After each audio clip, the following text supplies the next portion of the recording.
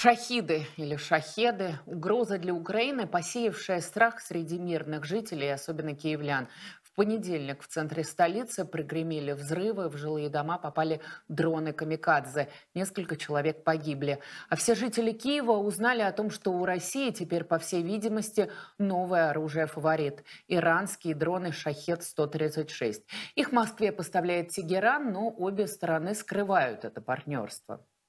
Слухи об иранских беспилотных летательных аппаратах, которые распространяются некими независимыми, неназванными, закрытыми источниками в американских же СМИ, опровергались в последние дни и иранскими, и российскими представителями.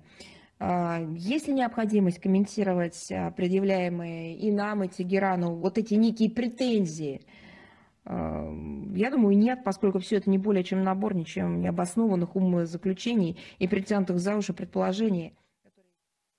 Скрывать, впрочем, получается так себе. Советник Минобороны Руслан Пухов в студии РБК не понял, что включен микрофон. В нашей студии Руслан Пухов, директор Центра анализа стратегий и технологий, член Общественного совета при Министерстве обороны России. Руслан Николаевич,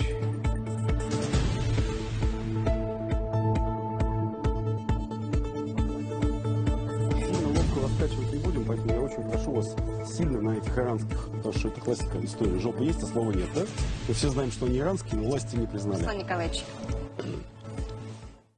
Вместо иранского названия на дронах маркировка «Герань-2». В последние недели российские войска стали активно использовать это дешевое, простое и эффективное оружие.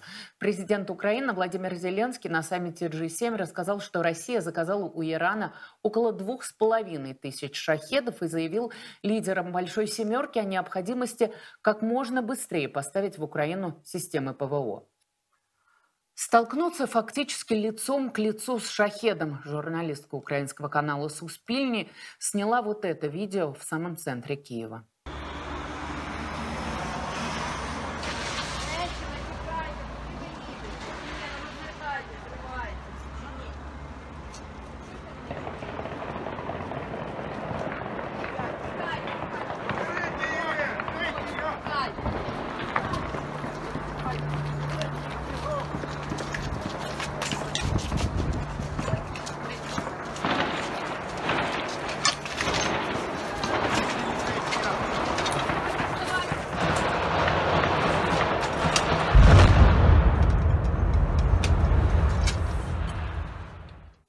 Мы поговорили с Анастасией Образцовой о страхе и ужасе, который охватил украинские города, и об этом характерном тарахтящем звуке, который знаменует полет дрона «Шахет».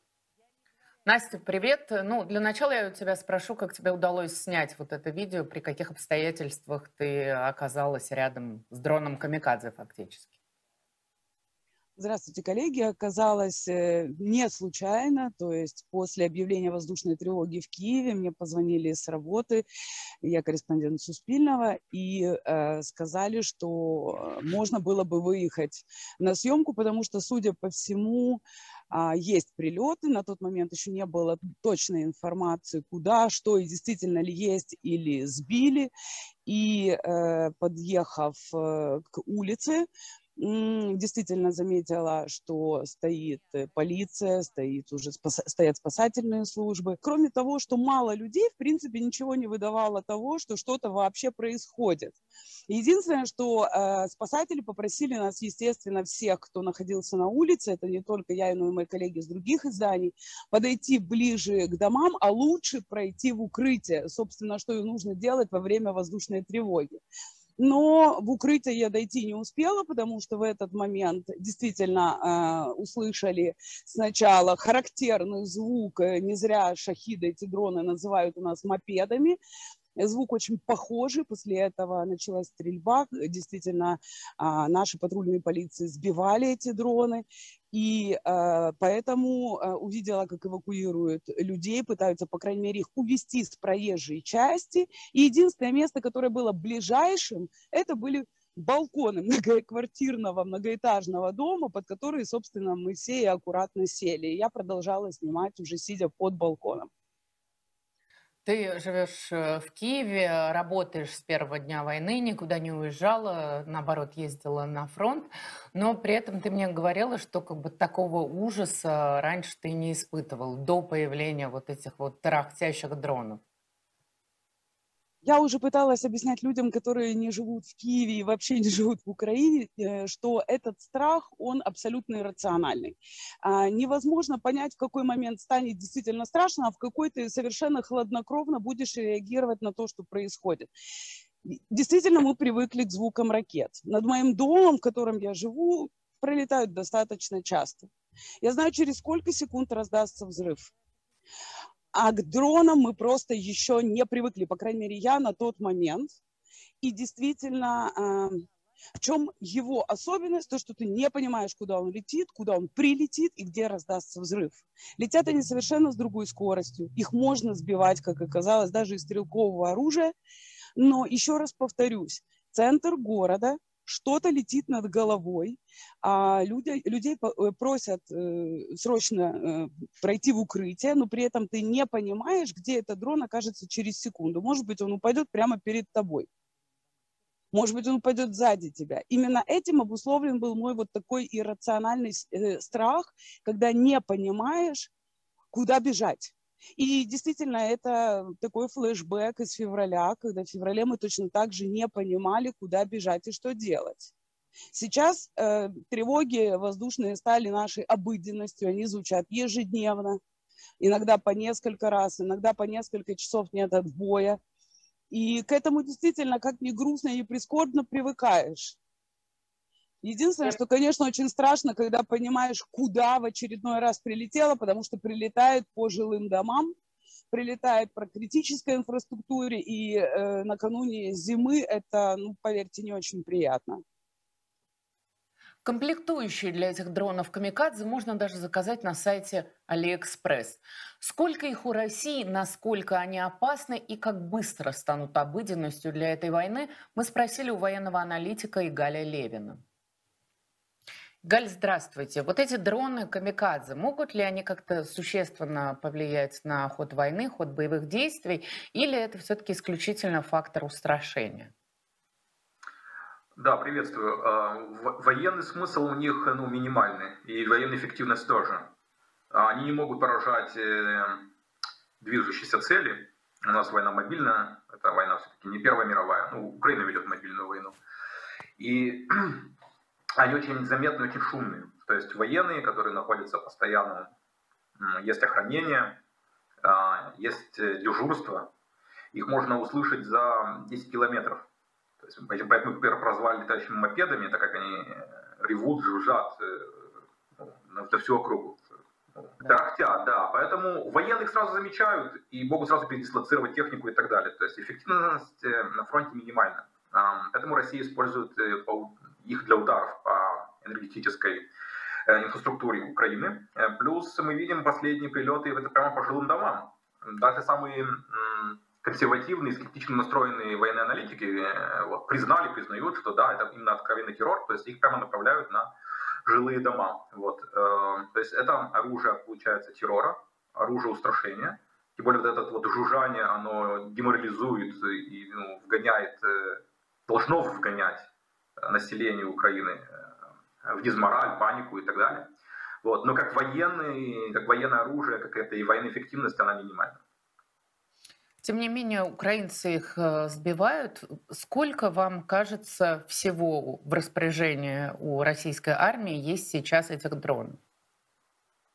Да, сбивают, больше половины сбивают, эм, причем процент э, сбитий растет, так как подбирают ключик, узнают, понимают, э, понимают, как это оружие работает.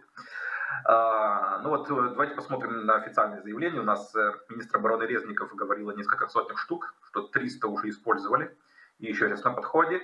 Вместе с тем Буданов и Зеленский, да, начальник ГУР Буданов и Зеленский, верховный главнокомандующий, говорили о заказе на несколько тысяч. Это не, не подчеркивалось, не говорилось заказ на сколько. Это на год, на 5, на 10 лет и так далее. Мы до сих пор точно не знаем мощности, то есть мы не знаем, где точно их производят. Вот не факт, что их, кстати, производят в самом Иране. А где их могут производить? в России вполне, этом, э, поэтому и Герань-2. Сейчас есть э, много косвенных свидетельств. Я тоже, чем больше информации узнаю про как раз беспилотники, Шахет-136, про них речь идет, чем больше информации вот сейчас появляется, я больше склоняюсь к версии, что у Ирана были заказаны не сами беспилотники, а фабрики, специалисты, мощности, инженеры, которые развернули эти фабрики в России, и Россия производит, именно как Герань-2. А это в том числе объясняет э, то, что слух о этих беспилотниках был, появился за 3-4 месяца до их э, применения первого. Как раз вот 3-4 месяца заняло, чтобы самолеты из Ирана прибыли и развернули мощности фабрики для производства. Это очень простые, простое очень оружие, то есть там используются технологии двойного назначения, буквально с Алиэкспресс купленные, то есть там микросхемы простые. Вот, все очень простое, и двигатель, который фактически стоит на мопеде, двухтактный простой двигатель, поэтому это несложно наладить их производство. Ну, если они покупаются, детали покупаются с Алиэкспресс, получается, что, в принципе, любой человек, более-менее обладающий какими-то инженерными навыками, может и дома их собрать, или как? Не, ну конечно, мы видим, что боевики в Сирии собирают беспилотники, ИГИЛ использовал беспилотники, в том числе кустарные. Кстати, вот э, умеренные повстанцы из Сирии, э, вот эти, то, что Rebels называются э, вот, э, в западной прессе, они использовали против э, российских частей там именно полностью собранные действительно дома, такие серьезные большие боевые дроны, которые вот полностью с нуля были собраны в гаражах. Какие есть э, еще способы более эффективные у Украины с этими беспилотниками бороться? Хотя вы уже сказали, что половину примерно удается сбить. Смотрите, э, во-первых, это несложная цель для поражения. То есть тут вопрос о выявлении. Если он обнаружен, и у вас есть средства поражения вот на, в этом, на этом участке, его несложно сбить. Он не маневрирует, он не летит быстро, он летит очень медленно, скорость 150, максимум 180 км в час. Очень медленно для такой цели. То есть она крупная. Это не маленький такой беспилотник, как коптер, скажем. Он относительно крупный, такой самолет, самолет фактически, который летит медленно со скоростью кукурузника. А, летит он по прямой, то есть он не пытается как-то уклониться от вашего огня. То есть если у вас есть даже какие-нибудь советские старые там ЗУ, вот, э, крупнокалиберные пушки, мелкокалиберные пушки точнее, или вот э, системы Гепард, которые ЗСУ, да, зенитно-самоходные установки, которые Германия передала, это просто отличные, вот, отличные средства, чтобы их сбивать. Вот шилки советские какие-нибудь и так далее, это все как раз туда. И даже просто у вас пулеметы, крупнокалиберные пулеметы, если вы ведете по ним огонь, вы можете их сбить. То есть вопрос о выявлении, то есть знать откуда, как когда-нибудь лететь, их маршруты и так далее. Это главный вопрос. Ну вот вопрос Во-вторых, как... это сеть, сеть, секундочку, я закончу, сеть ложных целей. То есть э, они летят по GPS-навигации, но если это российская, это ГЛОНАСС-навигация. То есть они летят по заданной точке. Там нет оператора, там нет камеры, его не могут перенаправить. Вот его запрограммировали на точку, туда вот он и летит на эту точку.